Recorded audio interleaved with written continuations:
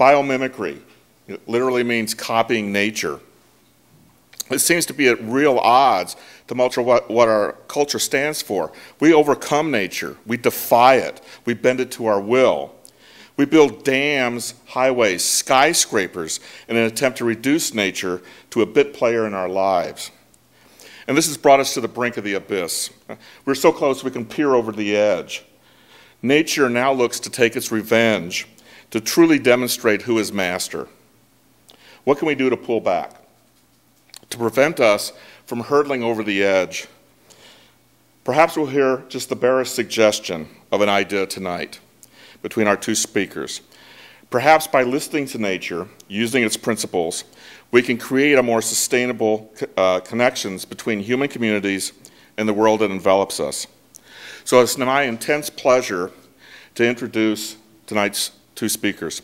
We'll hear first from Nicole Isle, who's the Senior Sustainability Advisor with Brightworks and leads the firm's campus and urban planning work. Drawing on her experience in watershed ecology and environmental planning, Natalie helps project teams realize a more comprehensive level of sustainability by combining economic, ecological, and systems inter uh, integrated with team creativity, innovation, and collaboration. Um, our next speaker will be Amanda Sturgeon, who's the certification director for the Living Building Challenge. She's a licensed architect and has been influential in the sustainable building movement in Seattle for the last 13 years.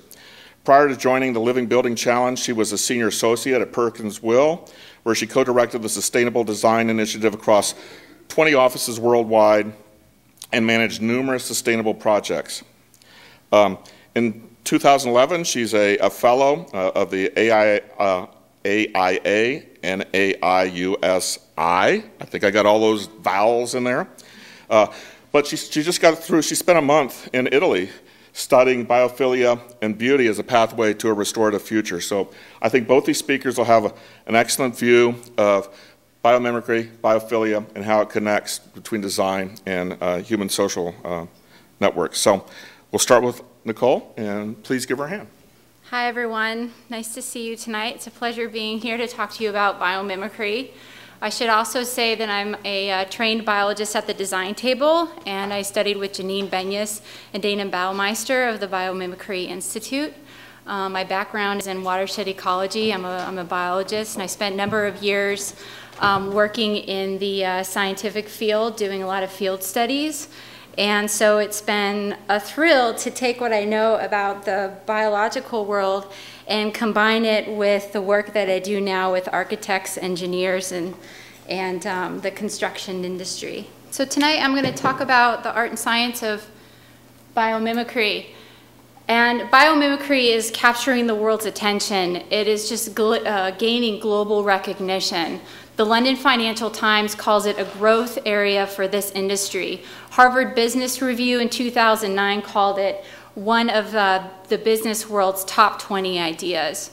In fact, Janine Benyus, the founder of, uh, of uh, the Biomimicry Guild and Institute, and coined the term biomimicry, has been deemed one of the world's most influential designers by Business Week.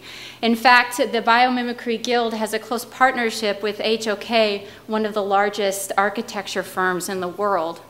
She's won uh, numerous other awards along with Biomimicry Guild and Institute. She won the Earth Environment Award through the United Nations Environment Program. Um, has been on the cover of uh, Time magazine and is working with Ashoka Changemakers, um, one of the world's leading organizations of um, social entrepreneurs. It's a global network, and they're taking on some of the biggest challenges in what it takes to design living buildings. You know, what are the big sort of issues that we face in terms of um, and renewable energy production efficiency levels? or the fact that concrete has so, such a high level embodied energy um, and it's one of the most prevalent construction materials used. These are big challenges that we need to deal with. And so she is helping with the Ashoka Changemakers to take on these sort of challenges. So what is biomimicry? Biomimicry is the conscious emulation of life's genius. What does that mean? It means that It's a, it's a learning tool, it's a design discipline, it's a way of thinking about the world. It's based on learning from nature and applying what you learn to human challenges.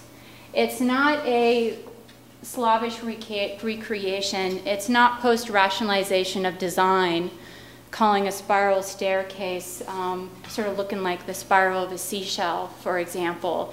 It's intentful design where you're thinking about nature, you're learning from it, you're applying what you learn with intent, with recognition to the challenges that you face, whether it's manufacturing or design or um, whether it's um, in uh, organizational development in many different industries. Biomimicry is this great, incredible intersection between um, innovation and sustainability. And really, nature is our bench, best benchmark for sustainability, right? And so, if you use nature as a tool in understanding how to build greener buildings and how to organize um, businesses in ways where they're more efficient, more fluid in their operations, we can look to nature because nature has solved a lot of those different challenges. And in doing that and using it as a, as a learning tool and a discipline, you open vast levels of innovation in how you think about the world, how you think about the business that you're in. And really, this is an imperative that we all face because we're limited in the resources that we have available to us. This is an incredible graphic that shows on your left, the blue ball represents all the water on the planet compared to the sheer volume of it. On, the, on, your, uh, on your right, the pink ball is all the atmosphere. So all the water, fresh water, salt water in the glaciers, in the atmosphere, captured in that little ball, and in the atmosphere on the, on the right with that pink. So it just shows there are limits and boundaries to the resources that we have, and that we need to be efficient with the way that we use them, and we can look to nature to learn how to go about living within balance on this planet. Nature has a lot to teach us. Because after all, life has been around for a very long time, and human existence is one little blip on that, on that timeline. In fact, over the 3.85 billion years of trial and error that nature has, has undergone in research and development, um, there has been a 99.9% failure rate.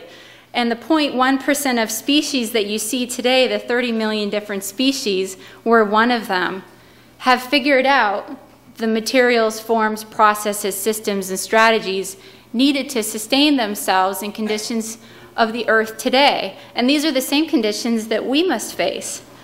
And so it makes sense to look to nature to understand okay, how can we live, how can we solve design challenges for example, in ways that are sustainable, in ways that um, are moving beyond sustainability into regenerative means where we're healing the planet. Nature's figured that out, and we can use nature as a learning tool to solve those challenges. So let's go through a couple case examples. Now, biomimicry really got its start in the late 1990s with Janine Benyus's book, um, Biomimicry Innovation Inspired by Nature.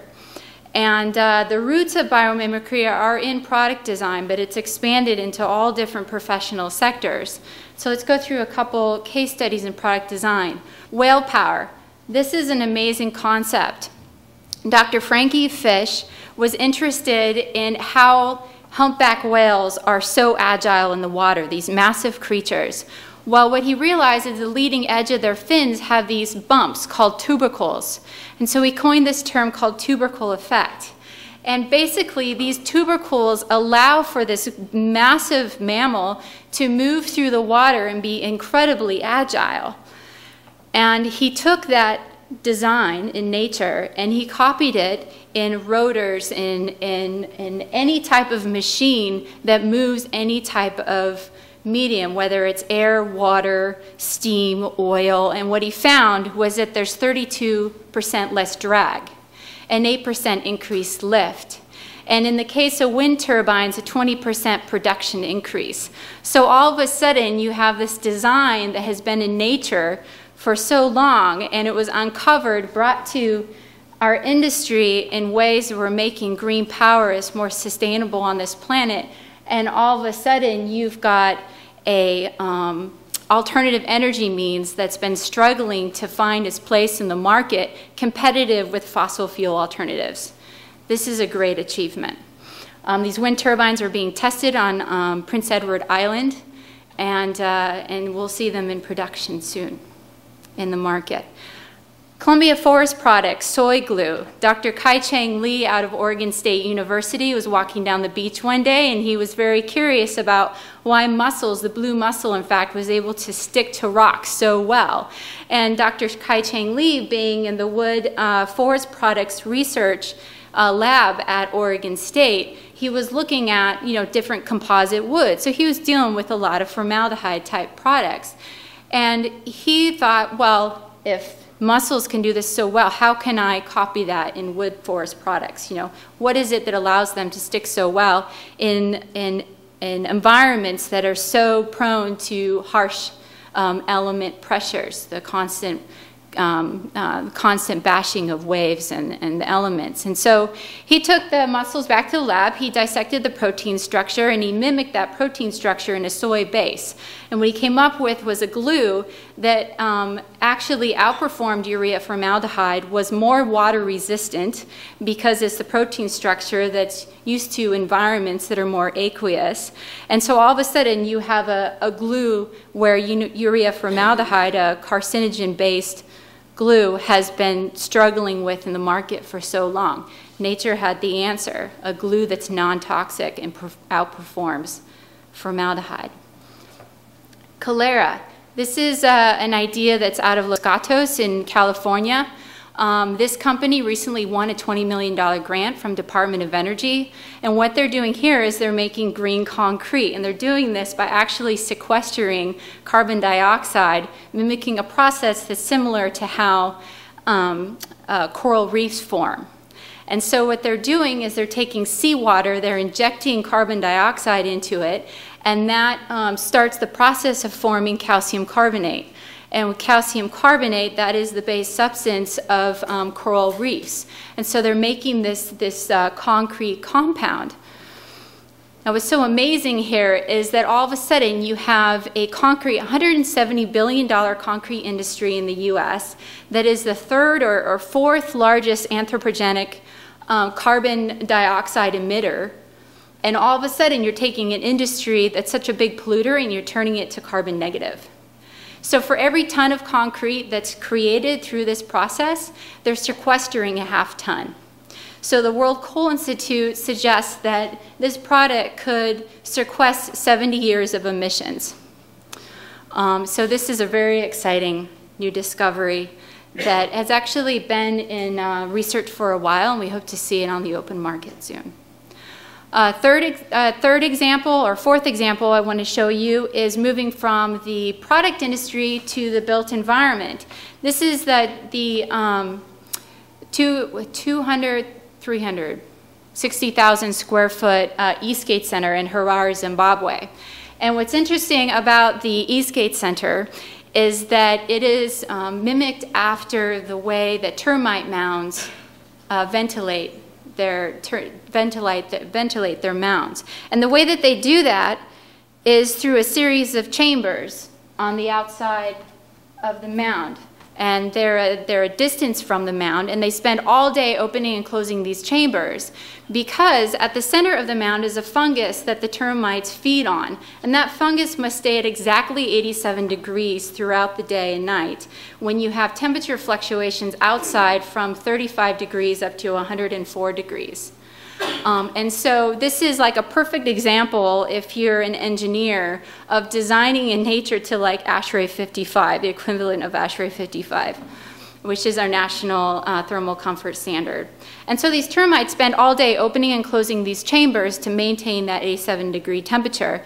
So that was the um, design that was mimicked in the Eastgate Center. And the Eastgate Center uses no um, mechanical cooling. They have some fans to help exhaust the air. But um, right away, the engineer, the owner of the building, saved $3.5 million in infrastructure costs, and rents in this building are 20% below uh, buildings in the surrounding area because of those avoided costs.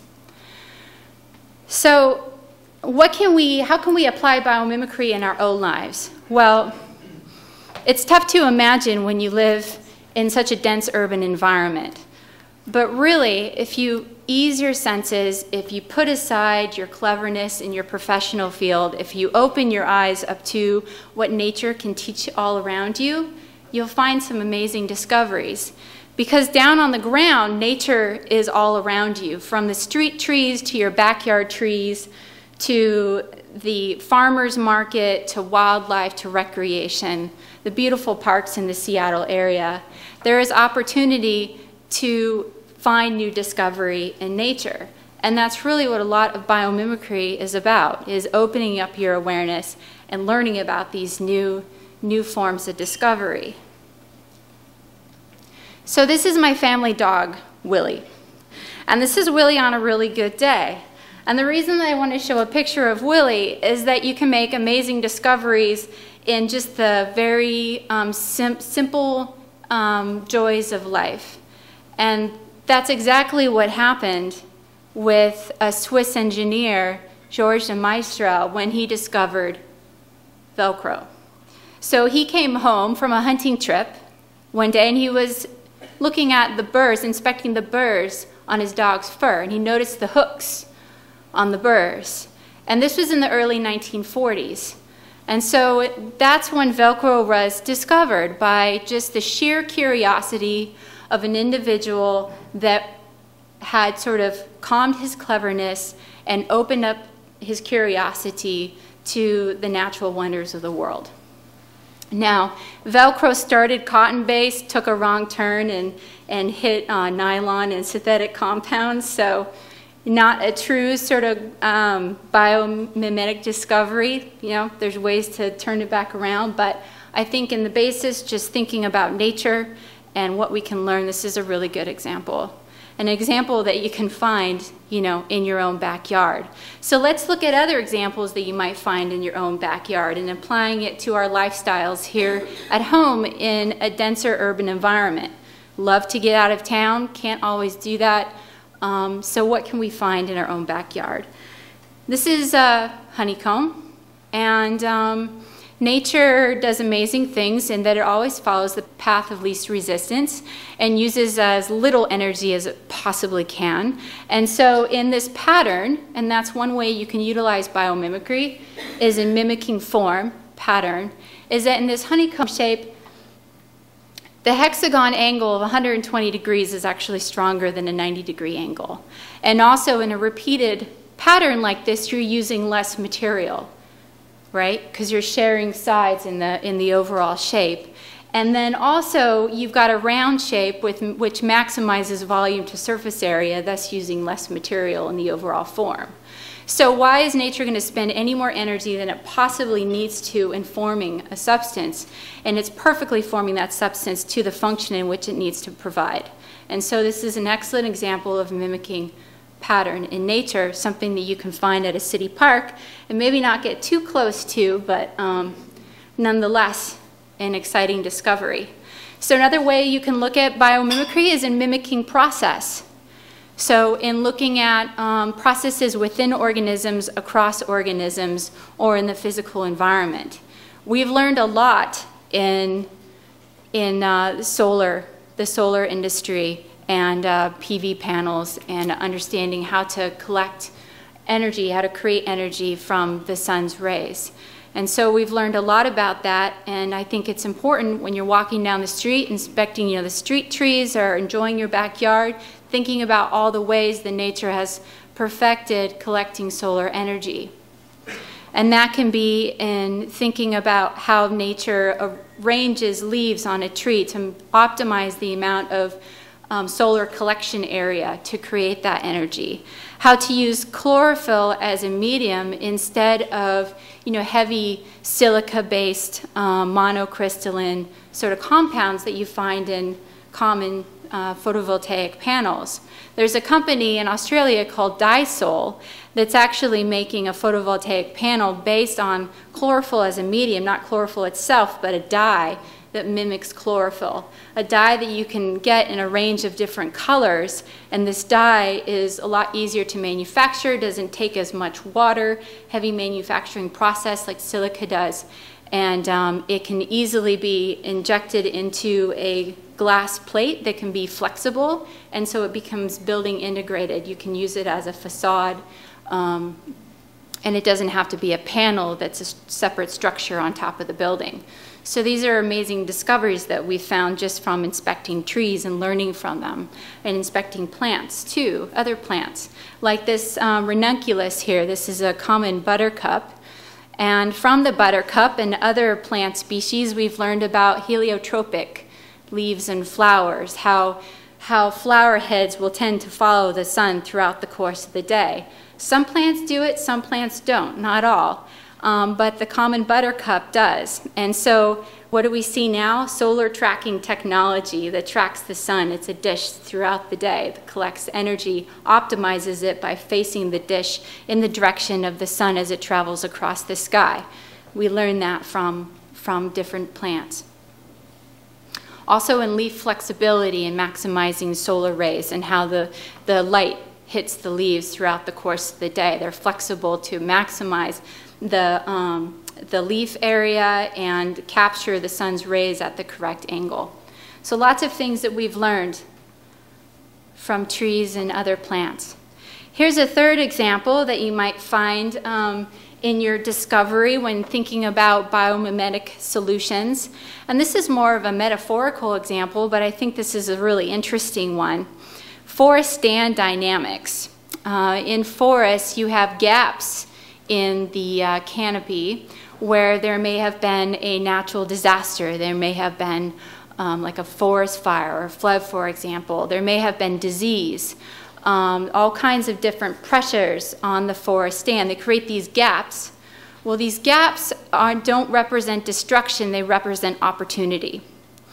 And the gaps are, can be um, organized in terms of size and shape, um, abundance, composition, spatial, temporal distribution. And I think the parallel here that I think is very interesting is in urban planning and redevelopment. When we think about downtown urban areas like Seattle and um, the redevelopment of uh, the aqueduct, sorry, the aqueduct, the viaduct, and areas of blight here. I was like, you know, reminiscing about my travels to Italy. And, um, in thinking about new opportunity in areas of redevelopment, if you characterize them in terms of size and shape, abundance, these different forest dynamics, and saw them as open gaps of opportunity, and at open gaps, what happens in forests is that the surrounding needs of the forest can be met in that, in that gap. Because there are, there's always change, there's always pressures on the forest, either to bring new diversity in, to add more nutrients to the soil, whatever it may be. And so this new opportunity allows for some wonderful things to happen to build the integrity, the resiliency of that forest stand. And so too, we can take those parallels to build the resiliency and the integrity of our urban areas. So some resources for you to take home. Who's been to the asknature.org website? Okay, several of you have. So um, as budding biomedics, and maybe some of you have applied biomimicry to your projects or to your um, design processes, whatever, or maybe in teaching others. This is a wonderful tool to take home and it's free. You can get right on and you can learn about nature right at the fingertips of your computer. You go to asknature.org. There's a search engine in the upper right hand corner. You can put in any challenge you face. Um, glare control, thermoregulation, collecting water, um, heat loss, heat gain, whatever it may be. You can put in a common uh, animal's name. You can put in elephant, flamingo, whatever it may be. You don't have to be a biologist. You don't have to put in scientific names. And what this search engine does is that it's linked up to E.O. Wilson's Encyclopedia of Life. E.O. Wilson, the famed entomologist, Harvard professor, naturalist, he's trying to catalog, uh, categorize catalog the different species on the planet. He's got an incredible undertaking. But all the great work that he's done links right up to Ask Nature. Ask Nature does a query for what you put into that search engine, and you'll get a list of species and the ways that they solve for that very same challenge in all different environments. So these are things that you can apply to your profession as an architect and engineer, as a research scientist, as a teacher, as a business leader, whatever it may be. Nature follows two simple main uh, rules to live within the operating conditions of the planet. Those are to adapt and evolve and to create conditions conducive to life. And um, a colleague of mine, Darcy Winslow, has an interesting perspective on sustainability. She says that sustainability is not a challenge, it is a condition to be created. And that puts a very positive spin and puts a lot of hope as to the opportunity that we have in um, how we choose to move forward in um, our impacts on this planet. And I think that biomimicry is one way to go about that. The closer that we're able to align ourselves with nature and reawaken our connections with it, more opportunities we have to move toward a more sustainable pathway. And um, I think Ask Nature is a great way to link into the biomimicry world. So in thinking about your lifestyles, your businesses, the products you produce, the buildings you design, how can they adapt and evolve? How can they create conditions conducive to life? Those are the questions that you can ask. There's a whole series of life's principles around how to go about doing that. It's another sort of piece to biomimicry process that maybe we can get into into the question and answer period. And I'll just leave you with this slide. Each species is a masterpiece. And um, there's a lot of elegance in nature, a lot to be learned. Um, this is a lot of research and development has gone into perfecting the way nature lives successfully on this planet. And so there's a lot to learn so that we can live successfully on the planet in the same under the same pressures and conditions that these animals have been successful and have figured it out already. So um, with that, I'm going to pass it over to Amanda Sturgeon and she's going to talk about biophilia, the more aesthetic, spiritual side.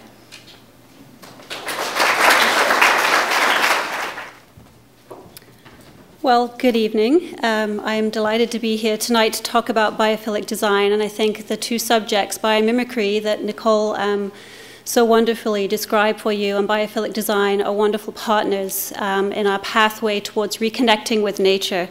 Um, so uh, Nicole referred to E.O. Wilson at the end of her presentation, and E.O. Wilson really popularized uh, the term biophilia uh, with his book Biophilia here um, in the center of the slide. And uh, later he worked with uh, Dr. Stephen Kellert, a Yale professor um, in social ecology, um, who they worked together to create the biophilia hypothesis, and then Stephen Kellert has gone on to do a lot of research about how biophilia relates to um, the relationship between people and nature in terms of um, buildings. And a couple of books here um, that have been released. Uh, the Biophilic Design book, a series of essays on biophilic design, uh, just came out a few years ago. And I'll refer to these throughout the presentation, but really the biophilia hypothesis um, is suggesting that there is an instinctive bond between human beings and other living systems. Um, those of you familiar, I'm sure many of you are, with E.O. Wilson's work, uh, where he talks about how we as a species have been hunter gatherers for like 99.99% of our human existence on the planet. Um, and he talks about how that informs our um, ability to relate to space and within space. And um, biophilic design is really drawing on some of those concepts um, that are often subconscious to us. Uh, as was mentioned at the beginning, I just returned from a fellowship to Italy where I was studying biophilic design in a tiny little um, southern Tuscan hill town called Civita, um, a fellowship with the Northwest Institute for Architectural and Urban Studies in Italy. Um, and uh, why I wanted to study this subject there is because, uh, you know, this is a town that's um, 3,000 or more uh, years of history. Um, it's built um, on Etruscan uh, structures that are embedded in the rock and has evolved over time. And uh, there's an incredible connection to place here um, that uh, Stephen Kellert outlines as being, you know, the two sort of pieces of biophilic design, having a connection to our place and also having um, an organic or naturalistic design. And for me, uh, Civitar and many of the Tuscan hill towns really um, incredible examples of biophilic design. And so uh, you'll see lots of slides um, throughout of uh. Um, the differences between biomimicry and biophilic design, how do they build on each other? Um, biomimicry is, it really can be used as a strategy within biophilic design. Um, you know, as Nicole um, mentioned, uh, biomimicry is uh, being inspired by nature to create um, products or um, different elements of a building potentially. Um, biophilia or biophilic design is really looking at the social side of how we as people connect with our place and connect with nature. And, and biophilic design, when the biophilia piece is combined with design, is really referring to buildings. And why is it important? Um, you know, for myself practicing as an architect for um, a long time, it's um, it's amazing to me that we are surrounded by a lot of buildings that, that lack a sense of place. Um, there's a sense of placelessness to a lot of the buildings that we're creating and building and a lot of the spaces that we spend time in. You know, many of us spend time in windowless offices. Um, you know, we're, we're secluded from the outside world. We don't get to uh, breathe fresh air during the day, hear birds sing, um, and we're very disconnected. And so biophilic design is really trying to create a pathway for us to understand how to uh, connect with our place again. And I think it's important to say that it's not new by any means. Um, you know, we can see here in the Cinque Terre, one of the five little towns um, on the northwest coast of Italy, um, that people have been coexisting with their place for uh, thousands of years in a, in a way that um, is pretty harmonious with the resources that they have, the, the geography, the history, the culture of their place and of, of their um, site.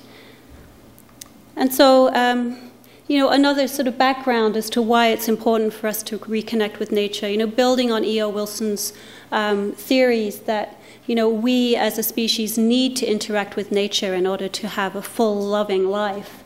Um, you know, there's been a lot of more work done, and for me, it's sort of a was a horrifying moment when Richard Louv came out with the concept of nature deficit disorder. Obviously, not the only person to have written about it, um, but having a couple of children myself, to think that children are becoming more and more disconnected from nature. Um, it's pretty scary. And there have been quite a few um, studies and scientific studies that look at the benefits of nature um, in schools. When kids have daylight in their spaces, their test scores improve, um, their ability to be creative um, improved cognitive function. There's even a study that shows in um, hospitals when you have a view of nature in your window, um, you, can, you will heal faster than if you look out at a brick wall, for example, or have no window at all. Um, and the other, I think, really interesting thing around biophilic design is the neuroaesthetic piece. There's new neuroaesthetic studies happening, particularly in the UK, that are looking what is the commonality between all of us in what we find is beautiful. And so far, the studies are showing us that we all think nature is beautiful. So nature, in some form or another, is beautiful to all of us. It's a common platform or a common language for us to talk about uh, beauty and um, what what makes us thrive in terms of a spiritual, emotional, mentally health, healthy um, individual or community. So, how can we get back to uh, buildings that make us jump for joy? Um, and uh, I know my kids always jump for joy when we go out to Shi Shi Beach once a year. And this is a picture a friend took of my son jumping for joy. Um, you know, how can we feel like this when we're in our buildings? You know, what will it take for us to feel like this? Um, I would love to see is that someone that's been the designer of buildings. I would love to see us all feel like that when we go into spaces. I just, I just want to be inside because we're spending most of our time inside. We should feel like this way this way when we go inside spaces. Um, you know, Stephen Kellert has made a really good uh, attempt at trying to, and there's various versions of this, at trying to uh, classify what we mean by biophilic design and what the elements are that would um, make a building connect with place and have its naturalistic um, forms. And he came up with six different design elements um, that I'll go through in a little bit more detail with some visuals to um, illustrate uh, what he means by these. But um, environmental features, um, natural shapes and forms, natural patterns and processes, light and space, place based relationships, and evolved human nature relationships. And I think the evolved human nature relationships particularly sort of builds on some of E.O. Wilson's work about us as this hunter gatherer sort of makeup needing um, prospect and refuge, for example. You know, I think all of you have been in a restaurant where it's busy and full and the only tables left are in the middle of the room, right? We're all sort of lined up around the edge with our backs to the wall, um, allowing us to see out. Uh, we want to want to understand what's, what's um, in front of us and be able to have some preparation for that. So, um, environmental features, and these are these are parts that uh, we're all familiar with to be able to have views and vistas, um, to be able to have sunlight, have a relationship with natural materials. And, and you know, we really see this in Civita and in many of the old Italian um, Tuscan hill towns where people were really building with, with what they had, with the earth beneath them. Um, but also, you know, there was a sense, a, a, deeper connection with that prospect and refuge. And often you were building towns that were somewhat defensive to the enemy, and you wanted to be able to have, you know, vistas and views around you in order to make sure that you weren't being invaded or attacked at certain times. Um, but, you know, a really great example of some of the features that um, come up within environmental features and how we're connected with, with our materials and nature. And uh, it's been, you know, Stephen Kellert talked about direct and indirect relationships to nature and relationships to place. And direct being, you know, when we're immersed in nature, where we're taking a hike in the forest, for example. A lot of the relationships to nature that we have within buildings tend to be indirect. So they tend to be about, you know, the use of materials, the ability to see out, um, or ability to have sunlight, uh, connection with water or animals, for example. Um, a couple more examples of environmental features. Um, you know, bringing water into a building. Uh, I've also seen some studies recently that looked at the benefits of having some kind of water sound or some kind of water relationship in healthcare projects and how it can really help people to heal faster. Um, also, you know, the use of really natural materials here and this, um, you know, image to the left where we really let nature just sort of overtake our buildings. Um, the second category is uh, talking about natural shapes and forms. So this is the Eden project um, in the UK, in Cornwall, that uh, really did use actually biomimicry. It's a really great example of how biomimicry, I think, and biophilic design really intersect. And there's actually a great TED talk by the, uh, by the architect of this building. If you um, look it up and you look up Eden Project, um, you'll see it. But they looked at, at what nature would do to cover a space like this. This is basically a greenhouse botanical space and uh, came up with the concept of a bubble. Um, what would nature do to, to cover a space like this? And so each of those little cells is actually a, a bubble. It's inflated to some extent. Um, it's a two layer uh, plastic. And so I think it's an example of where biomimicry has been used to create elements of a building that then really celebrates and, and tries to rediscover a place. This was an old mine that um, was uh, rejuvenated and, um, you know, again, the use of natural forms in a way that makes a lot of sense from a biophilic design perspective. Each of these little pop ups is allowing the sun to be tracked through the day and allowing sunlight uh, throughout the space so they all face in, in, a different direction and you're able to track the sun inside the space as it moves through the day, um, allowing us to connect with um, the time of day and the weather outside.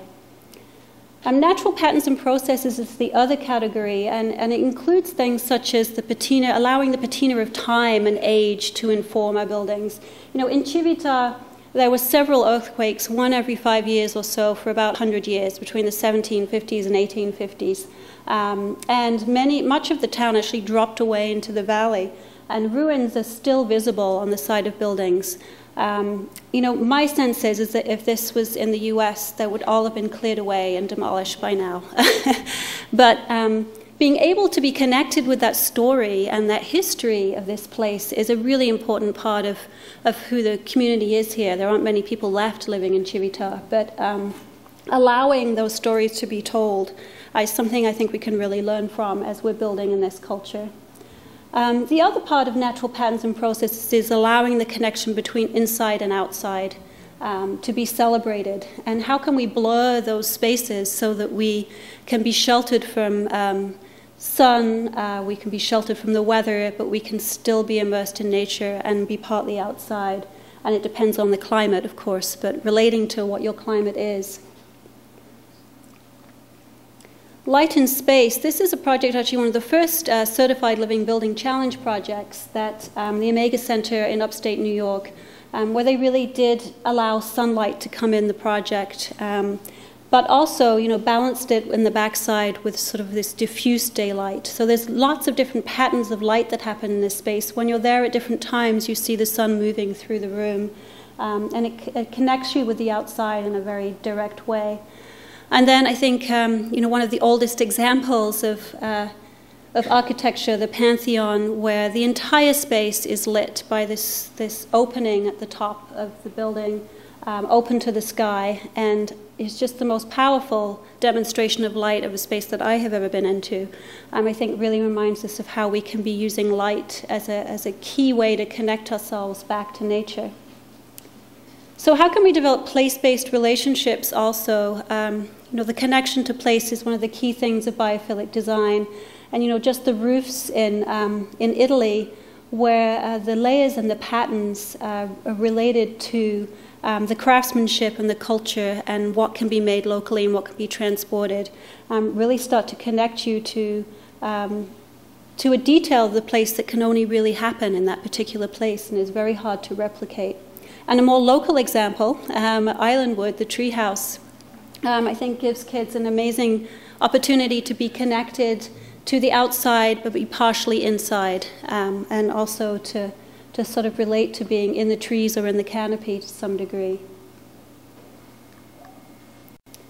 Um, the last uh, grouping I wanted to talk about of biophilic design is the evolved human nature relationships. And uh, this is the Sagrada Familia by uh, Gaudi in Barcelona, um, which really does replicate and, and imitate um, natural forms in order to create a spiritual uh, experience and probably the most spiritual building I have ever been into, which is not a church or a place of worship, is the Sydney Opera House. Um, and, uh, you know, Jorn Utzon, the architect here, decided what, um, realized what it would be like to, to transition people through a space from the main harbour or bay, uh, Circular Quay on Sydney Harbour.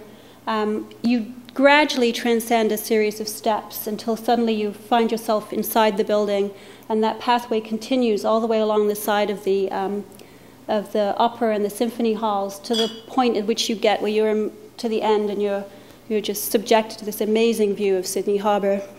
Um, I think it's an amazing example of not just a natural form, um, whether you know you find that appealing or you don't, but also an understanding of how you relate people to a place.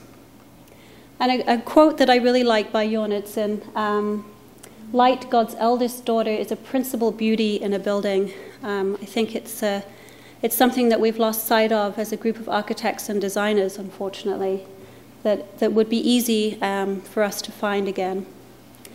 So I just want to talk a little bit about how does all of that in biophilic design relate to the, the work that I do as certification director Living Building Challenge. And uh, within the Living Building Challenge, which is 20 requirements to um, move us towards a restorative future. And we have more information on the tables there, and I can certainly talk to you more about the program. Um, but we require, one of our requirements is that uh, designers address biophilia um, in those categories that I outlined and um, not in a way that they've designed their building or their neighborhood and then they've told us, you know, well, this relates to nature or this relates to nature, um, but in a way that, that changes their design process and how they may have designed the project in the first place.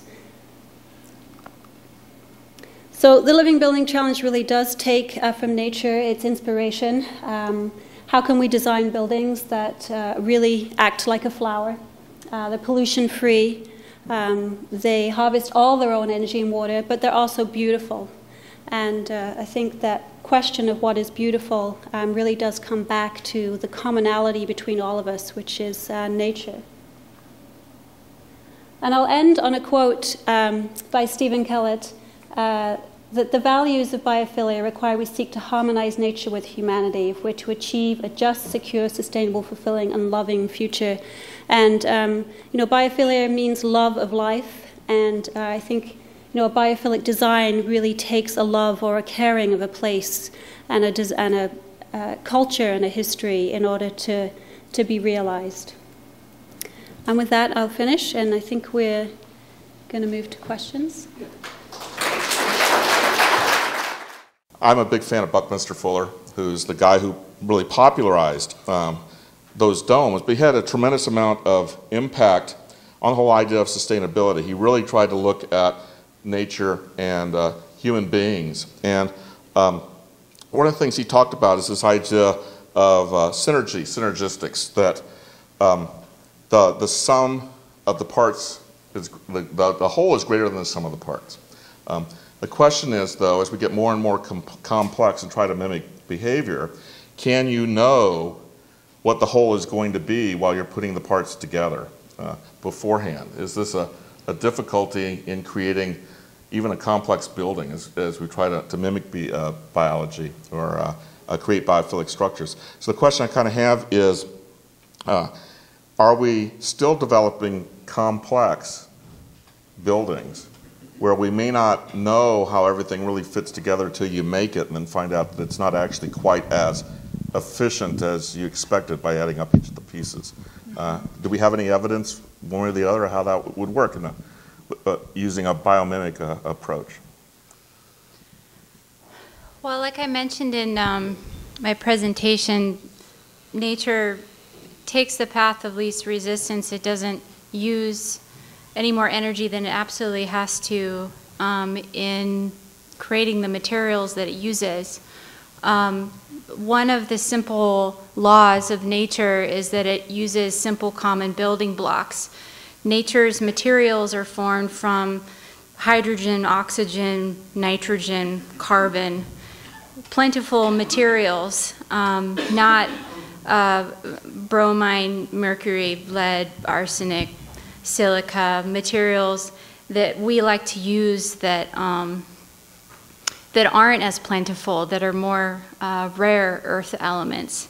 Um, and so I think in building, there's a parallel there in using simplicity in design, using plentiful materials, um, using simple shapes that can be repeated um, and I don't think we're quite there in our building today. I think in buildings that um, are highly flexible spaces, that are modular, that really tailor to the re building relationships with the interior occupants and allowing them to do their daily activities and not feel hindered, I think is an important aspect of, of um, green building. And I think those are things that we can learn in nature. So I think I'd have to say that it's, you know, thinking about simplicity in design, um, plentiful materials is important in building. So you're actually you're actually saying if you use biomimicry, you probably actually are simplifying our processes, whereas today we seem to be making things more complex with our standard processes. So it would be a simple uh, it would be a simplification and therefore would be quite as big of a problem. Right, yeah. I mean, one of the big uh, green building best practices is multifunctional design, and nature is a master of that. If you think about like a mallard duck you might see at a park nearby, um, when a duck cleans its feathers, it's preening. Well, when it's preening, it's also moisturizing the, um, it's also um, putting a uh, moisture layer on the on waterproofing the feathers. And it's also at the same time moisturizing its beak. And in the presence of sunlight the um, uh, lotion that it uses to waterproof and moisturize the beak turns to vitamin D, so it becomes a nutrient for the duck. And so, in the one simple process of cleaning its feathers, it's performing four functions. That's multifunctional design. And again, that's nature's way of using as little energy as possible to do as many different functions. Well, that, and that gets back into kind of bio, biophilia. Um, uh, when you show the dome, often a biophilic design, like a dome. We actually, it looks really pretty. Uh, and there's a lot of good structural engineering aspects for having a dome structure. It includes, it includes the great amount of space on a very small surface area, things like that. But because of the curved, curvature nature of the building, uh, it's very hard to make uh, mass market furniture uh, using industrial age assembly lines to create the the heating and cooling systems that they might need in different structures with different curvatures. So is there a way to incorporate the biophilic design of a building like that and still maintain some of the efficiencies, or does it have inherent efficiencies that, that beat a lot of our, our modern uh, square structure? Uh, Yeah, I mean, I think many of the structures that we have, like I showed the one of the sort of classic big box uh, store of some kind um, at the beginning of my presentation, and um, you know, the reason I think we have a lot of projects, uh, buildings like that, where we don't really know where we are. We could be in a Home Depot in Seattle, we could be in a Home Depot in Atlanta, right? We don't, there's really no connection to place, is really because we want to make building something that is, you know, we can commodify and we can replicate and, and make cheap and reasonable um, in terms of a cost perspective. And I think biophilic design is really calling for um, a movement away from that, where we actually are looking at each place and what's appropriate to each place. So where there may be a dome appropriate in one place and function, um, it may not that may not be appropriate in the next place. And so it doesn't mean I don't think that things can't be replicated. Um, but I think it's calling for a much more careful examination of what's appropriate in each place rather than simply repeating a pattern no matter where it is in the world. So actually, this is one of the questions from the audience, is the idea of feng shui um, as a way of placing a structure inside its surroundings. Is, is that a large part of, of biophilia or an aspect of biophilia that could be uh, applied to a, much larger uh, global uh, uh, culture than just in the kind of bits and pieces you see. Yeah, I mean, I think I see biophilia personally as being a movement very similar to what we've seen with food, where we're seeing, you know, the the the um, rise, rising or increase of slow food or local food or organically grown food. Um, I think we really need to begin that movement with our buildings, where we have you know, slow buildings, and we have buildings that are local, and we have buildings where, you know, those that have created them have really sat and listened and watched and um, taken account of, of what's in that place. And so, yeah, I think, uh, you know, if we build with biophilic design, the buildings would have quite a lot of feng shui in terms of, you know, their character and connection to their place. Um, you know, and I see it as a movement that's sort of similar to the other movements we're seeing, where people are really trying to get a grasp more of their local community, their local culture, and be more rooted within it. Um, and I think biophilic design speaks to that. Well, one of the things I, I like both of you to, to, kind of talk about this is uh, both of these ideas, biomimicry, biophilia, require uh, a lot more thinking. We're, we're, talking about really putting a lot more cognition into our, our building decisions. And of course, that slows things down to, to do it. We don't have the processes to do that very effectively. Uh, yet we're dealing in, you know, in a world and economy where you sometimes need to do things quickly. Uh, buildings are being funded by people that want to make the money back on the buildings. There's a tremendous amount of processes that uh, may not be interested in thinking deeply about getting a building up. Uh, so I want to ask each of you, I'll ask you first, um, Nicole, is you know, what are some of the ways to attack that? What are some of the ways to make it easier to have that time to think, but still meet the pressures from uh, the economic pressures that are out there? Mm-hmm. Well, biomimicry is a design discipline that's best served, you know, at the very upfront portions of a project where you're doing some pre preliminary planning and thinking about how you're you going to frame the approach on the project um, and thinking about what you're going to design and how that's going to impact the place. I think um, when you start to consider cost issues, budget constraint, you know, budget constraints and costs, when you start thinking about time constraints, when you start thinking about the um, goals and desires of the client and their own constraints from investors, you know, that can definitely complicate the process. But I think that it can also bring great resolution and clarity to design when you start to think about applying biomimicry not as a technical, cumbersome design process, but in a thought process that takes you through the whole sort of um, approach to how you're going to carry things forward from the sensitivities of the site um, to elements that should be preserved, elements that um, should be restored, and how does that then feed into the massing, stacking, the orientation, the size and shape of the building on that site? And then also just in thinking about nature's design principles around how nature has succeeded so well on this planet. And those are elements um, that parallel with biophilia in terms of being locally attuned and responsive. Um, you know, you see in uh, in the mountains, you don't rabbits don't have big ears that stick up into the sky, but in the desert they surely do because they need a massive amount of surface area to exhaust heat quickly. And so um, that's an example of being locally tuned and responsive. And also in the example I, I talked about in multifunctional design, um, I think that's a really good approach to building in efficiencies in design if you can think about what is the true function of this building. What, who am I serving? How are occupants going to, um, how are they going to behave in this building?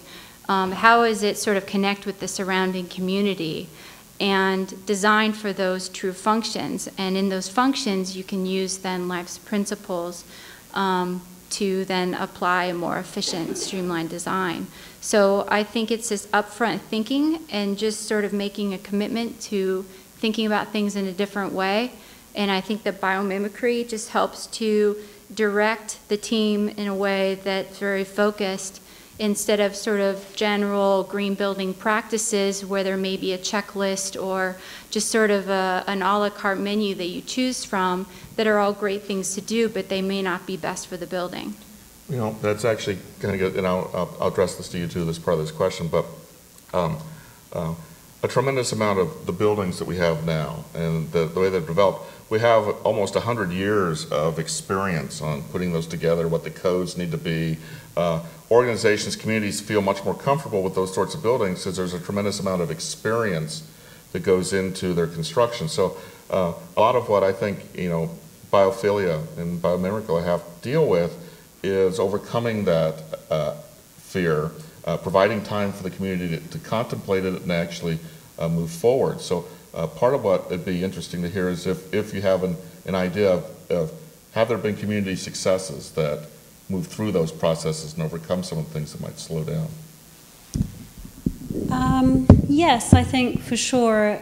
I mean, I don't know that doing um, a building with biophilic design necessarily um, slows down a process as much as uh, simplifies it and causes us to consider what's really valuable. Um, and I think biophilic design really speaks as much about ethics, love, morals. as anything, and that it really questions our greed as a human race and our need to do things fast and for the most profit possible. And um, I think it draws a deeper ethic um, out of us. Uh, when we have to really consider our place and respect for our place and our culture and our history. So, um, you know, there's been many communities I think, that have stopped and said, okay, how are we going to build a place that's important for this community that speaks to this community? Um, you know, one of the Living Building Challenge registered projects is a, is a cob house that uh, the owners built um, by hand themselves, and they had to challenge lots of building codes. Um, they uh, pretty much broke all of them. They had to make friends with the building inspector. You know, they had to connect a flush toilet, and then, you know, as soon as they got their um, occupancy certificate, take it out, and then put their composting toilets in. I mean, they're pretty creative. And, and what I'm seeing with people that are choosing to do the Living Building Challenge, for example, and that's not the only pathway necessarily, but um, you know, is that people get pretty darn determined to do this stuff. They will not let anything get in their way. And um, what I've seen more and more with Living Building Challenges, people just being so excited that there's a framework um, that can help move them towards um, not just biophilic design, but you know, a truly restorative future. And uh, people will, will get around the rules. They'll work out a way to do it. Um, I think we're pretty creative in that way as a species. Well, I've, I've got one question from the audience that I'd, I'd love to hear your, your answer to on it. So this be, but it's like a test question, but it's great. Is um, is the Bird's Nest Stadium in Beijing biomimetic, biophilic, or neither? I'd call it bio-inspired. Yeah. I don't think there was a true biomimetic process involved in the Beijing Stadium. Certainly looks like a bird's nest. Um, doesn't necessarily use uh, life-friendly materials, um, uh, but it's definitely bio-inspired. You know, there was definitely inspiration taken from nature there. Yeah, and I would say that, you know, taking inspiration from nature in a form of a building is a really fabulous first step towards biophilic design. Um, but, you know, the reason I showed the six elements or six categories is because, you know, taking inspiration from nature to create form is not the only way that we create biophilic design. Um, you know, if there's no relationship to place, for example, or culture or history, um, you know, the use of sunlight, water, air, um, all, all the things that I outlined, then you know, just taking one one portion of biophilic design doesn't necessarily make something biophilic, but but I do think um, we've been inspired uh, for thousands of years by natural forms, and, and I hope we continue to be. I mean, I like that part of that stadium that they did they did take inspiration from something natural. I thought was was great personally. Mm-hmm. yes, over here. I really appreciate this uh, both, con- both, both concepts, biomimicry and biomimetics and biophilia. Um, two questions. One is that how would a potential practitioner of this obtain training? What curriculum might this be found in? And two, how would a potential uh, co- consumer of this uh, get access to, you know, to this in considering uh, construction of a residential or an industrial structure. And then two, um, in this concept of biophilia in, in being in harmony with a, with a natural system, it's always seemed to us that particularly in all our structures and, and, and, and our residential structures, uh, we spend most of our time inside and that the night uh, is a is a part of the natural cycle and that we're separated from. So I'm just curious if you've seen any any uh, studies or any uh, examples where the night has been more incorporated into um, either residential or, well, particularly residential because those are the places that you're at at night. So potential practitioners, how would they get the training? Potential consumers, how do they get the product and the night sky and access to the night? Well, I could start in reverse if you like. The, the night sky, I mean, we have seen a movement uh, towards actually uh, commercial buildings and um, particularly within the U.S. Green Building Council's LEED program to try and address light trespass and light um, during night to reduce the light burden of cities, which is actually you know, what then starts to affect our experience in residential areas. I mean, I live on Bainbridge and I can see the lights of Seattle at night still. Um, and so, you know, there has been an awareness or an acknowledgement that, uh, you know, if commercial industrial buildings all turn off their lights at night, that we'll actually be able to restore a sense of night, especially around cities or urban areas, and allow nocturnal species to thrive as well. Um, so that's the part that I know about sort of night sky um, issues. In terms of education of practitioners, um, I know that, that uh, Nicole can talk about the Biomimicry Institute's um, program. Um, you know, I do recommend some reading. I will say that biophilic design, there's no um, there's no like easy course or training, uh, you know, to sort of to get there. I think that's really a piece that needs to be um, worked on next. Is like what are the steps? What's the framework that we can use? Um, you know, the book I mentioned, Biophilic Design, would be a really good way, I think, for people who are interested. Uh, to to go further, and I can leave this out here that people can look at, um, write down the details if you need them. Um, I would say on education, you know, within the Living Building Challenge program, we have regular education events. I did want to say that uh, Stephen Kellert is actually speaking coincidentally here in Seattle next week. Um, so that would be a way to hear um, hear it from the horse's mouth, as it were, and talk to him a little bit more about his work. Um, I think he's showing the film that he's just completed, um, mostly at that event, and then it'll be a short lecture. So um, so those are some resources, and I could also connect you with a few more if you like after this. Okay. Um, yeah, there are a number of different resources. Ask Nature is a good one. Um, there's a wonderful book called The Way Nature Works, which I think should be on everybody's shelf. It's got um, incredible graphics, uh, great understanding in very simplistic terms of uh, natural systems um, across all different ecotones around the world. Um, and uh, Ian McHarg's The Way Nature Works, I think, is really good too in terms of just a early um, understanding of designing with nature's principles in mind, um, or just called Designing with Nature. Anyway, um, the Biomimicry Institute has great um, uh, educational courses. They have a nine-month and a two-year certificate program. Um, there's also about biologists at the design table training um, that you can take, uh, biomimicryinstitute.org. There's also a newly emerging uh, Puget Sound biomimicry network. And there's some folks here. Um, maybe you can raise your hand so you can come talk to them and get hooked into others that are excited about biomimicry. Um, there's also a Biomimicry Oregon network too. If there's anybody here from Portland, um, we're having an emergence event on September 21st. And uh, we're going to have a keynote speaker, a two-year certificate graduate, and um, so that should be pretty exciting too. Uh, so those are some good resources. In terms of night sky, um, I think there's a real need in urban areas for people to connect with the night sky from a biophilic sense, to connect with the stars, and to be able to see um, a world outside of an urban environment, I think is really important because we are bombarded with so much stimulus that to be able to see the quiet of the sky and the stars, I think is really important.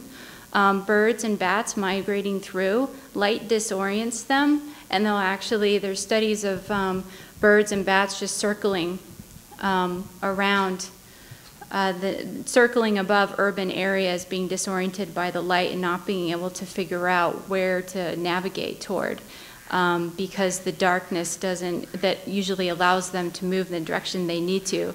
They get a nice duck ring. There's a duck, a nighttime duck.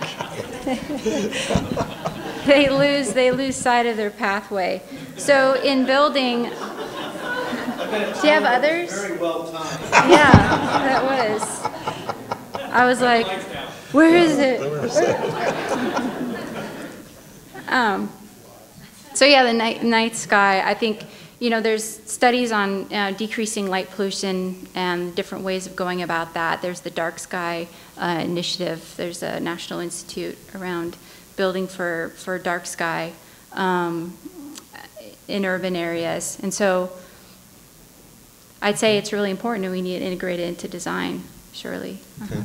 Well, we've got uh, several questions that kind of cover this, overlap one another, so I'm going to meld them all together. Um, the way we design buildings and design, design communities is actually almost mass produced. Uh, whether you build a, a, a building in Houston or build it in New York or build it in Los Angeles, they're all kind of built the same, even though those are, though those are very different climates that each of those are, are built in. So particularly looking at the Pacific Northwest, are there any insights into um, biomimicry or biophilic uh, designs that uh, would be really conducive to living in the Pacific Northwest, particularly with looking at things like uh, uh um, SAD, seasonal affective disorder, things like that that might have to be dealt with. So examples of biomimetic design You in know, the yes, is- are, are there any things that would be uh, directly applicable to just living in the Pacific Northwest that would be a good design here? You may not want to use it down in Houston, but uh, Mm-hmm. work well uh, in a, in a cooler, more northerly climate. Mm-hmm. Well, obviously, in, in our climate, we have, you know, more heating days than cooling days, and so having a real tight thermal envelope and focusing on the efficiency of the architectural design before thinking about mechanical systems is always really important. And, um, you know, the way that different animals build their homes, they don't have the um, they don't have the luxury of um, calling up carrier and Trane and, and installing a heating cooling system. They sort of have to figure it out by the building materials that they have readily available around them. And so I think in terms of um, the tightness of, of the envelope, ventilation, um, in terms of you know readily available materials in the area, um, I think is is really important in design. And just focusing on the shelter itself first before thinking about the equipment that houses it, I think is very close to um, biomimicry. Okay, how about Yeah. Well, I think we've actually seen uh, Northwest architecture emerge um, in the last 15 years. I'm thinking of the work of some of the architecture firms such as Miller Hull and Cutler Anderson and um, where they really have addressed what a Northwest architecture might be like. And um, not surprisingly, it's fairly heavy in terms of wood structure because that's our resource here. It wouldn't be right for us to be building, you know, stone houses out of tufa shipped from Italy in the slides that I showed you and the way it is in Civita. Um, but they're typically buildings also that are addressing natural ventilation. Um, we have a climate here that we don't really need cooling if we design in the right way. Um, wood structures. They're usually really maximizing daylight uh, because we do get a little daylight deprived, just a little, um, by the time February comes around. And they're also really opening up to um, the outdoor spaces and taking their inspiration, I think, from um, forests, from the water that we have, and from the geography that we have. And I think we're just we're just seeing it emerge, and I think we see it much more in houses and environmental education centers and some schools um, gradually, and much less in our downtown portfolio of buildings and our industrial buildings and our hospitals. Um, and I think that's that's the next challenge: is how do we make those buildings that are somewhat more complex uh, currently um, really adapt to their place um, and to a, a language of the Pacific Northwest. Yeah, I think one element of biomimicry design, yes. Go ahead. Okay. Um, Is in uh, not only in thinking about thermal performance of the envelope, but in, you know, harnessing free energy. And that's something that nature does very well, and thinking about solar exposure and um, trade winds, and thinking about how you can take advantage of that warmth provided by the sun at different times of the year, across different seasons. Um, The fact that, you know, trees shade in the summer through the leaves, and they, the- through the leaves, they photosynthesize and create energy for, for the tree, but then in the fall, the, the leaves fall, the trees respire, they go into rest, and that sunlight then penetrates down to the ground to keep it warm, to incubate seeds so they can emerge in the spring. Um, also in allowing water to, um, allowing water to hit the branches and down the tree trunk and down to the center of the tree so it can replenish its, uh, its water systems when it needs to at a time of rest so that the buds can emerge in the spring.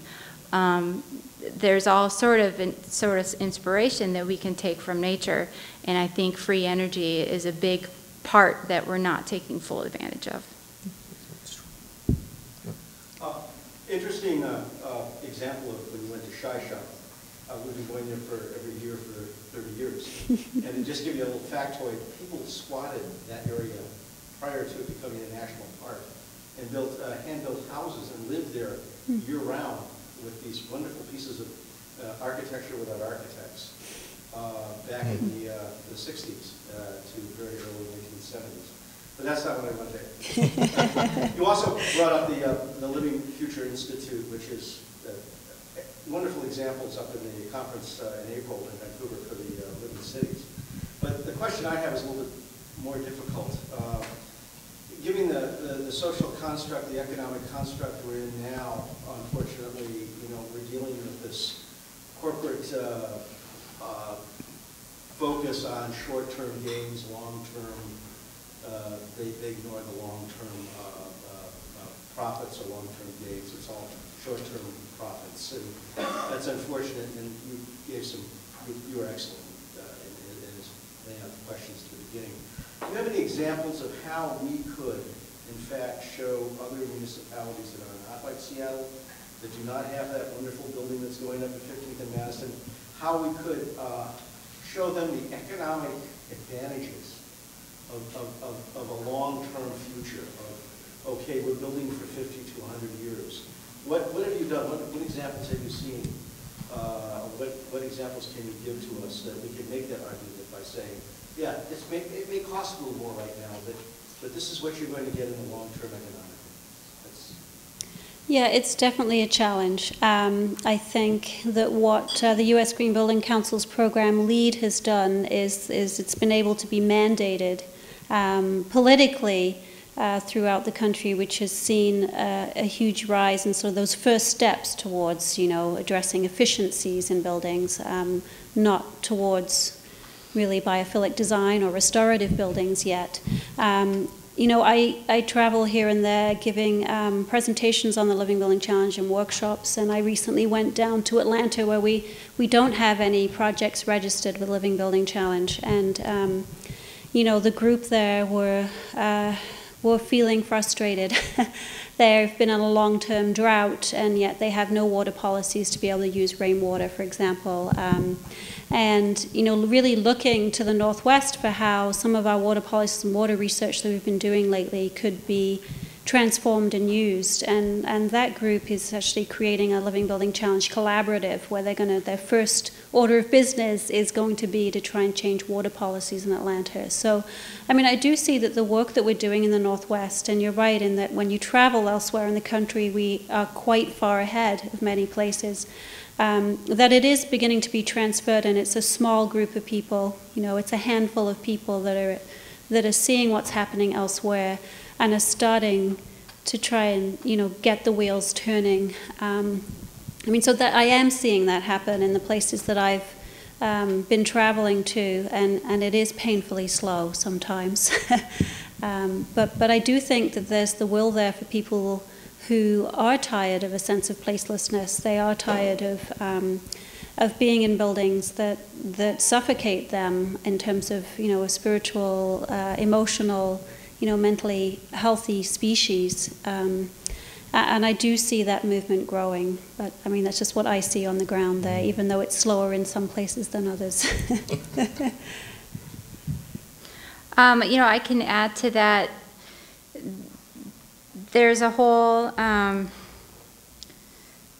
there's a whole sort of philosophy around the business case for sustainability, and it has to do with cost savings and risk mitigation and brand enhancement and market positioning and thinking about what your competitors are doing and what sort of like federal legislation or state or local legislation is coming down the pike and what you need to be prepared for. And in thinking about areas like down in Atlanta or you know in the Gulf and um, and, and um, areas that have been susceptible to drought in Northern California and Arizona, for example, where they see the real challenges of scarcity of resources, they're butting up against it on a daily basis. Um, so that's where you start to see the issues of risk really come to play and decisions have to be made quickly. Um, I think in bringing those sort of tidbits to light and thinking about the long-term upfront cost savings and incentives, the long-term incentives, um, and having buildings that are more structurally um, sound and able to um, um last, you know, over 100 years for that's, that's necessary for building today um, I think is important. And so talking to those points, you know, companies are looking to differentiate themselves from their competition. So in thinking about brand enhancement, um, I think is a big play for folks these days and in, in market positioning and trying to get the, the edge um, against their competitors is something that we found speaks to people in terms of wanting to do something a little different because it is the the minority that's interested in doing something different, something better. Um, and it's really the majority that's interested in coming along with the pack. And so it's these sort of uh, business um, objectives that speak to people, and that's what you need to be talking to in order to get their ear and to start thinking about doing something a little different Yeah, I'm talking about precedent too, so it's, it's not so scary, and it's, uh, other people have already jumped out there ahead of them, so they can too. Well, you know, I have, I have one- question that fits in with this is, um, and, and this is something I, I found very fascinating when I read about it is, in uh, a lot of the third world slums, they're now using two-liter bottles filled with water and embedding them in the roofs or the corrugated roofs. And those are now providing the equivalent of a 50-watt bulb without any need for electricity because they had no electricity and they had no holes in the roof that, that would work. So it's a very cheap, very quick way to get natural light inside um, third world slums. So one of the questions I have is, is that would some of these ideas of biomimicry actually perhaps find greater purchase in those parts of the world, some of the developing parts of the world, than they might in the uh, um, uh, developed uh, countries, simply because they may be much more interested in just getting something that works cheaply rather than having to deal with all the processes. Do you see anything like that? The, the third world is picking up on a lot of biomimicry, maybe more than we are? Well, I think they may be doing it without knowing it. Um, I think what's amazing in third world countries is although there are issues with um, disease and overall health and longevity of, of, of, of people's um, lives and in terms of just quality of life and level of education and access to needs, um, health services, those sorts of things, they are closer to the elements. These people feel the forces of not having enough water or living in areas that are not healthy and have stale air or being prone to, you know, leaky roofs and they understand when it rains what it feels like. And, and so these people are closer to the pressures of the natural world. And therefore, I think they're more in tune with it and respond to it in ways that make sense. Um, and I think that's something in the Western world that we've sort of lost grasp of. We have buildings that fully shield us from the outside elements. We can be inside all day and not even know what temperature it is. And so that sort of disconnects us with the forces of the outside world, and then in that way, and in that sense, how to build appropriately to those forces. So I think that um, in third world countries, we can certainly stand to learn something there. I think Janine Benyus um, says that it, that biomimicry is a reawakening. It's not a new discipline. This is an old way of thinking, an old design that we just need to become reconnected with. We, we, were, we were there once and we need to find it again. Um, and so I think that's one way to look at it. Um, biomimicry is a really interesting tool. And I think one example I, I want to provide is um, I was working on a project in Woodburn, which is about 30 minutes south of Portland. Woodburn is an agricultural community, the largest um, minority majority population in Oregon is 52% Latino. And in this um, apartment complex, uh, women and women in this uh, couple apartments together started planting vegetation in front of their windows, and so the um, the property manager was asking what they were doing, and they said, "Well, these windows, there's too much heat gain." Um, and so they were planting shrubs to, and small trees to help block that heat gain and cool their apartments. Um, I, that's a connection that they still feel from living um, in their homeland that they've brought with them. And so I think that's an example of being close to nature in ways that many of us have forgotten. That's interesting. Um, one question we, uh, was brought up is that uh, one of the major places in, in America, let's take right now, right now, is uh, having to rebuild housing that's been destroyed by a natural disaster in Japan dealing with a atomic reactor. Um, uh, is this an area where biophilic designs could have some real leverage because they're buildings that need to be quickly designed that people are going to have to be put into and live either for a short term or perhaps a long term. We have the example of Katrina where they were being put into housing that was obviously unhealthy. Uh, is, are, are there anybody, is there anybody or any groups looking at using that as a point to bring biophilic designs um, into the mainstream?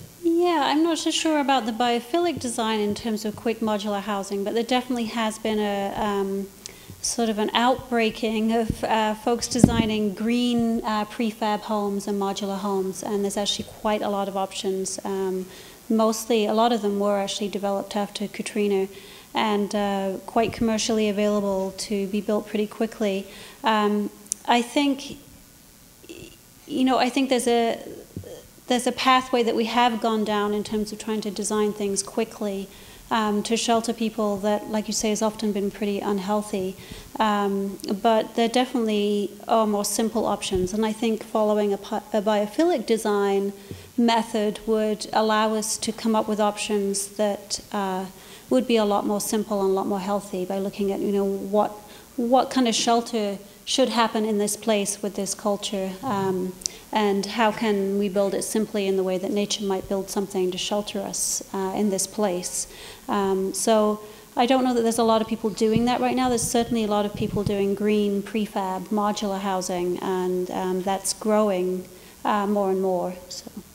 Well, because it, brings up the whole point of we, we talked about having to think carefully beforehand, but mm-hmm. in a natural disaster, you really don't have an opportunity in this in that immediate sense.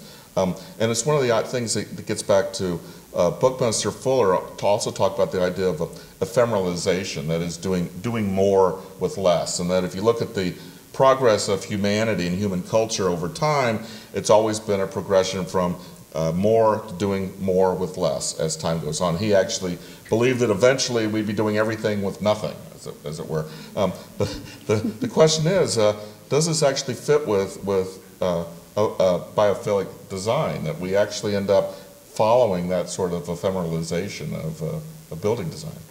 Um, I think very much so. Yeah, I mean, I think buildings. Uh, uh, that you know, nature isn't greedy, and that it, it usually doesn't take it doesn't take more than it needs. And um, you know, I think biophilic design is really calling for us uh, as a species to follow in that pathway um, with our buildings. And you know, currently the amount of waste and um, excess that we have in our buildings, it's often not a choice of whether you can afford it or not. Um, to choose marble shipped from overseas for a foyer versus, you know, looking at how you might generate the energy for the building in a renewable way. I mean, the, the money is there to build these buildings and to do um, extra features that aren't needed. Um, so it's it's really a choice, I think, of where we're choosing to put our money and what we're choosing to do with our resources um, and how we design buildings. So, I mean, I, I don't. I think that biophilic design can really lead us down a path of doing things in a much simple way, which will not necessarily be more expensive. Um, you know, I think ultimately it's about how we choose to use our precious resources wisely. And it's showing us a pathway, I think, to do that in a much simpler way. And, you know, that gets to, to an extent, there's, not everybody agrees. the biomimicry or biophilia is, is the right way to go. In fact, you know, you have critics who, really, who is, yeah, yeah, it's, what a surprise. Um, I'm shocked. But, but the fact is, and this is where I think it overlaps a little bit, is uh, what comes first, the design, the biomimicry design, or the engineering to make it that then the, you rationalize that later? I mean, uh, because obviously nature is a good engineer in a lot of cases, mm-hmm. and if you follow engineering processes, you can say, well, that's biomimicry, but it is it, it may not be depending on just how the critics view how you how you build things. So so what is the difference between biomimicry design first versus engineering design first? And uh, uh, are there differences in the outcomes off of those two ways of looking at it?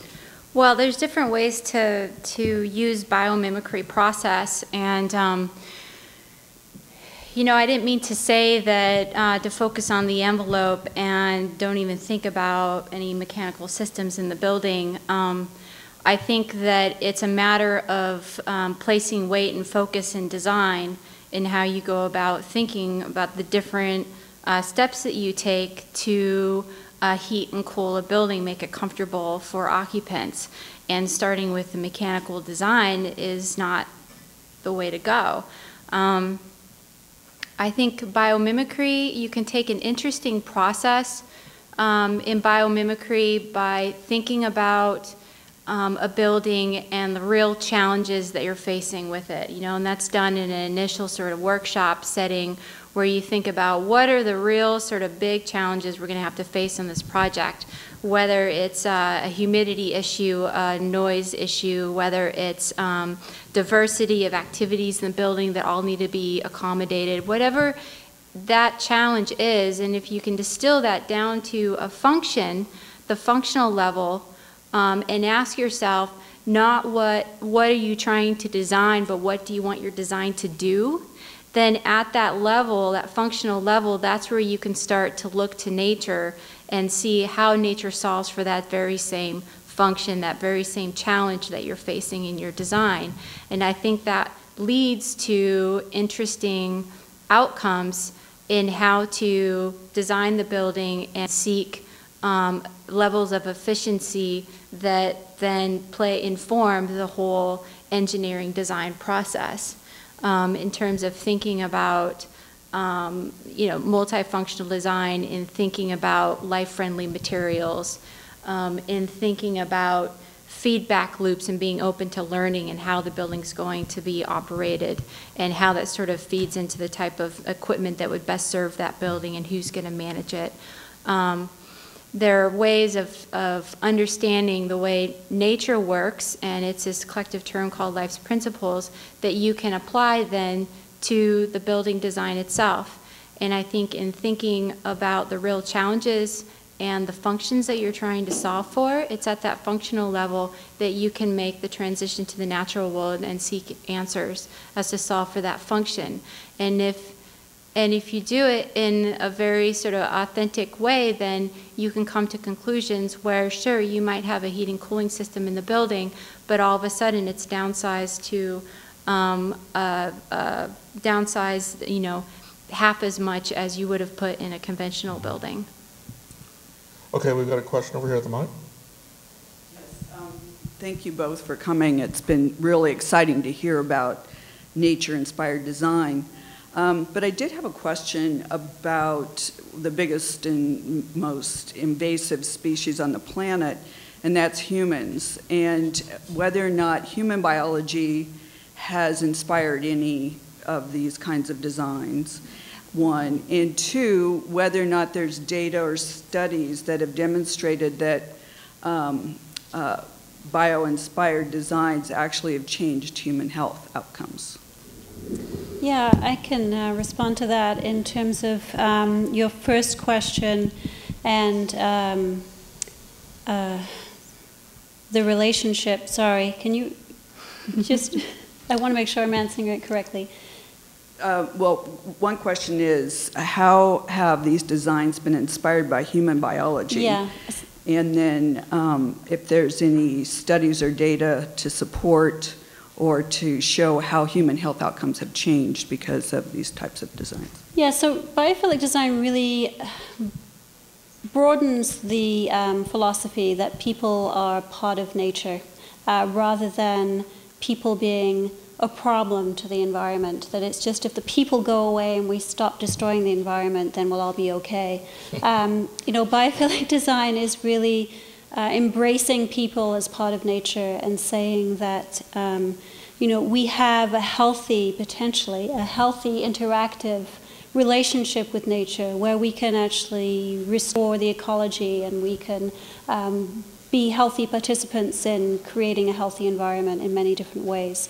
Um, so I think in that way, um, you know, it's a very human inspired uh, approach uh, rather than looking at just protection um, uh, as an approach.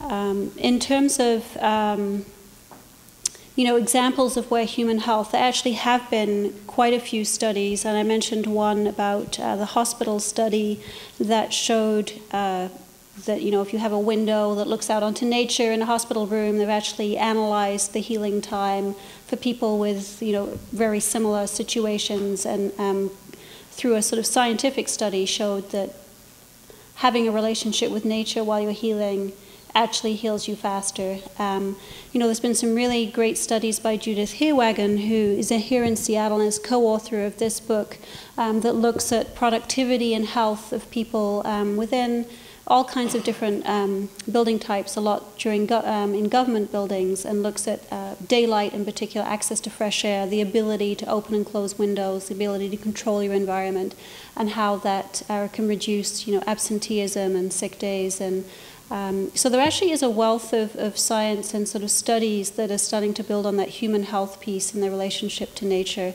um, that are pretty interesting. Yeah, um, I can add to that. Um, you know, we are nature. People are part of nature. There's no doubt about that. And there's amazing things that we can learn about human physiology that speaks to the way nature operates. Um, for example, um, you know, a cell divides exactly 50 times to create a baby. And that's all it takes. From that point on, it grows and multiplies in cells. So, so that's an exa excellent example of building from simple common building blocks and replicating simple patterns and building in complexity from the ground up and thinking about design in a simplistic fashion to, to build form. Um, you know, another example is uh, fitting form to function. Um, our bones are, are actually a lattice network of, um, of structure. They're not solid. If they were made by our ingenious minds, we'd have solid bones, maybe made out of titanium. I'm not sure. But um, nature has provide created bones that are strong yet they only use as much material as absolutely is needed and that creates more of a, a lattice type structure in the interior of a bone so it's very strong very supportive but it's also lightweight. We don't want to spend our days burning tons of calories moving our heavy titanium bones around. And so i think we can learn a lot from from people. We are nature. There's a lot to learn um, from about us. I think what's interesting in building human environments, and this is something that struck me when I saw um, Timothy Beatley's film on biophilia recently that's going to be played at Stephen Kellert's uh, transformational lecture series through Cascadia GBC. The movie um, is called The Nature of Cities. And one thing that was mentioned that I thought was really interesting, caught me, is the fact that we need to be able to define human habitat. And we've spent a lot of time defining wilderness or defining um, natural environments and trying to protect, restore, and figure out what is the perfect balance. But I don't think we've spent enough time figuring out human habitat and defining that. And I think there's biophilia aspects to that, as well as biomimicry aspects in, in designing with nature. And so I think if we defined human habitat, I think we'd have a new appreciation for society and our relationships with each other and our relationships with the natural world. And I think today it's being done on a building by building level. It's done on a, on a town or a city by level, depending on the political climate depending on um, the, the, forces at play, whatever projects are going on at any one point of time, um, where the funding is and, and how it's coming about, coming together. And so I think a collective view of defining human habitat would help us better understand how to not be a destructive species, but a productive species, productive in a way where it's mutually beneficial to people and nature. Okay, one last question over here. Thanks. Um, I work for a group called Zero Waste Washington. We're a small nonprofit group. And so my question is um, what are you seeing in the arena of product design that's designing um, products for reuse and recycling and cradle to cradle instead of designing them for the dump? And um, kind of as a piece of that, how, how would you, um, or, or what, how do you see us um, finding a pathway to encourage the manufacturers to actually move in that direction? Um, well, currently we're working on a program within Living Building Challenge that takes, we have a requirement within Living Building Challenge called the Red List, and uh, it lists sort of the um, known endocrine disruptors, carcinogens, and such uh, that you know, need to be excluded from a building in order to comply with Living Building Challenge. And um, we've actually going to be shortly launching a program where we're asking manufacturers to sign up and, and just reveal and be transparent about their ingredients, which I think is uh, one of the first steps. I think one of the challenges with materials is that we don't really know what's in them. Um, so therefore, they end up in the dump because we don't really know all the many components within them, how to recycle or, or how to transform them. And sometimes we do know, but we put them in the dump anyway. But I think one of the one of the first steps is to is to develop a language around transparency in, in our products. And um, you know what we're finding as our Living Building Challenge teams are going out and asking questions of manufacturers: What is in this product? What are the ingredients? Is that often the people selling the product don't know the um, manufacturer's representatives don't know, um, even up to the CEO doesn't know really what's in their product. And so it's starting a dialogue where, um, you know, they're needing to tell us what the ingredients are. And I actually think that's one of the major steps, which is, you know, if you know there's something in here that's, that's harmful to people, we know that we can't, we, we can't do anything with this product once it's made at the end of its life uh, there's no way that um, without causing more harm to human health, we can, we can even recycle this product. Um, and so I, I, do think that's one of the first steps, and we are seeing more and more products that are starting to declare and being willing to reveal what their ingredients are. And we're also seeing manufacturers that are alarmed because they didn't realize some of this stuff was in their products, and they're, they're actually getting excited about trying to find more natural. Um, biomimicry inspired, if you like, solutions um, and alternatives in their product. Um, so I see that as a wave, the next wave of, of products um, happening right now, and I think it's actually going to change pretty rapidly.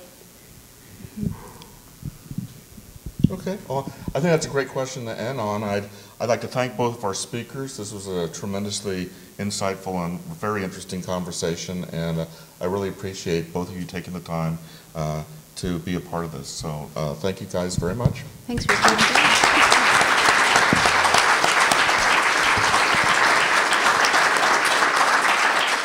I'd also like to thank all of you for being here, for providing such such intriguing questions and wonderful ways to keep the conversation going. So give yourselves a hand. I think that you're a big part of what makes this successful. And I also want to thank our sponsors, and hopefully we'll get the get the uh, uh, the uh, PowerPoint showing them again. So make sure I mention them all, but particularly Muckleshoot, uh, Tribe, and uh, um, ZMG, ZGF. ZJF. I keep wanting to go ZOMG because that's the the internet uh, meme. But I want to thank both of them for their sponsorship. We wouldn't have been able to put on quite as nice an event without their help. So if you could give those them a hand. And then finally, we're going to have, for the next 15, 20 minutes, maybe we have to be out of here by 9, we're going to have these little breakout groups where Nicole will be over here and we can pull chairs around and you can ask her questions directly and have a uh, much more intimate conversation with her. Uh, Amanda will be over here. Uh, we'll try to have these facilitated so that there's a good conversation. Everybody uh, gets a chance. You don't have to stay if you want to leave, but we really encourage you to uh, be a part of these conversations that are tend to be a little more in, uh, uh, in-depth and uh, intimate than being up here on stage. Uh, thank you all. Have a, a, nice drive home, or a walk home, or a bus ride home, or a bike ride home, or whatever biomimic approach you have to getting back to your house.